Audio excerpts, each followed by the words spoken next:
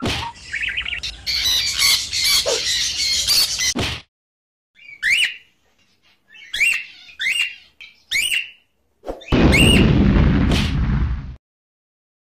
ดีครับทุกคนครับ ก็ยินดียินดีต้อนรับเข้าสู่ช่องมิสเตอร์ยูทีนะครับ ทุกคนก็วันนี้ก็จะมาแปลกๆนะทุกคน ก็เหมือนเดิมนะไม่เปิดหน้านะทุกคน แล้วก็วันนี้นะครับผมจะมาบอกวิธีการเลี้ยงนกแบบeasy นะทุกคน เอาละครับทุกคนก็ถ้าทุกคนพร้อมแล้วก็เป็นเริ่มมันเลย แต่ก่อนเริ่มเหมือนเดิมนะทุกคน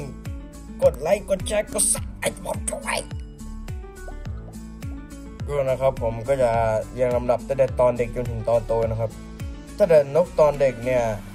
ทุกคนจะต้องสิ่งที่ทุกคนจะต้องเตรียมนั่นก็คือเจ้าอาหารของมันนั่นเองนะทุกคนมันก็คือไอ้ผงนะเดี๋ยวผมจะรูปไปดูนะครับ ก็คือ ไอ้เจ้าตัวนั้นเนี่ยมันจะต้องเอามาผสมกับน้ำร้อนนะครับ แล้วก็ค่อยๆคนๆนนะก็วิธีคนก็สามารถไปดูได้จากช่องอีกไอ้ก็สามารถไปดูได้จากอีกคลิปหนึ่งของผมนะครับเดี๋ยวผมจะทิ้งไว้ให้นะครับ แล้วก็อีกอย่างที่ต้องเตรียมนั่นก็คือไอ้เจ้ากรงของมันนะทุกคนกรงตอนเด็กยังไม่ควรใช้เป็นกรงเหล็กนะทุกคนควรใช้เป็นแบบพลาสติกก็ได้นะทุกคนหรือจะกรงกระดาษลังก็ได้นะอย่างที่ผมใช้นะ ก็แบบนั้นก็ใช้ได้อยู่นะทุกคน ก็สิ่งที่ทุกคนจะต้องเตรียมต่อไปก็คือไอ้เจ้าเขาเรียกอะไรไฟไฟเอาไว้ที่ไฟเอาไว้ไฟที่เอาไว้กล่องมันนะครับ ทุกคนก็จะมีแบบ ให้ความร้อนแต่ไม่ให้แสงกับให้ทั้งแสงและความร้อนนะทุกคน แต่ผมจะแนะนำเป็นให้ความร้อนและไม่ให้แสงนะทุกคนเดี๋ยวขึ้นรูปให้ดูนะไอ้เจ้าตัวนี้มันค่อนข้างที่จะดีมากเลยนะทุกคน เพราะว่ามันมีแต่ความร้อนนะ แล้วคือ มันไม่มีแสงรบกวนลูกน้องในเวลาหลับนะ ทุกคนก็ถือว่าโอเคเลยทีเดียวนะ แต่ราคาก็อย่าแพงเลยนะทุกคนเอาละครับทุกคนแล้วก็ลูกป้อนก็จะมีแค่นี้นะครับ ทุกคนแต่ถ้าใครไม่รู้วิธีการป้อนครับ ก็สามารถไปดูคลิปของผมได้นะครับเดี๋ยวผมจะขึ้นรูปให้ดูนะก็ไปช่วยไปดูกันด้วยเยอะๆช่วยไปดูกันเยอะๆด้วยเลยนะครับ ทุกคนเอาละครับทุกคนเมื่อนกมันเริ่มโตขึ้นในระยะหนึ่งแล้วนะทุกคนหรือแบบ ประมาณขนเริ่มออกมาก็จะเต็มตัวแล้วก็สิ่งนี้ทุกคนผมแนะนำว่าให้ทุกคนควรไปซื้อนั่นก็คือไอ้เจ้าเมล็ด millet นะ ทุกคนก็มันเป็นอาหารที่เอาไว้ฝึกแทะนะ ทุกคนส่วนวิธีเลี้ยงก็จะเหมือนกับลูกป้อนเป๊ะนะครับ แต่ก็สิ่งที่ต้องซื้อนั่นก็คือไอ้ที่ผมแนะนำนะ ก็คือเจ้าพวกไอ้คอนนะทุกคนคอนลับเล็บแล้วก็ millet แค่นั้นนะ ทุกคนเอาครับทุกคนครับก็ อย่างต่อไปนะ เมื่อนกแบบโตเต็มที่อยู่นะ สิ่งที่ทุกคนจะต้องเตรียมก็คือ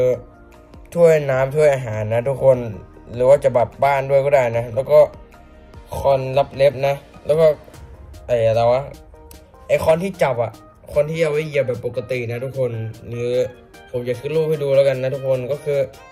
ไอ้พวกนั้นเนี่ยค่อนข้างเนี่ยจำเป็นอยู่นะ แล้วก็เรื่องข้าวเนี่ย ก็สามารถไปหาซื้อตามตลาดพวกนี้ได้นะ หรือว่าจะแบบไปหาซื้อตามร้านหรือไปสั่งเอาก็ได้นะ ถุงแล้วไม่แพงมากนะทุกคน ก็วันวันหนึ่งทุกคนก็จะต้องแค่ใส่เปลี่ยนน้ำเปลี่ยนข้าวเปลี่ยนอาหารนะทุกคน แล้วก็เออ แล้วก็เรื่องกรงนะทุกคน กรงไม่ควรเล็กเกินไปนะ ควรใหญ่ๆหน่อยนะทุกคน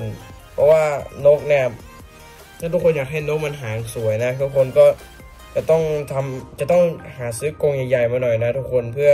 ทำให้หางมันไม่ขาดนะทุกคนแล้วก็ทำให้นกไม่เครียดเกินไปนะครับ ทุกคน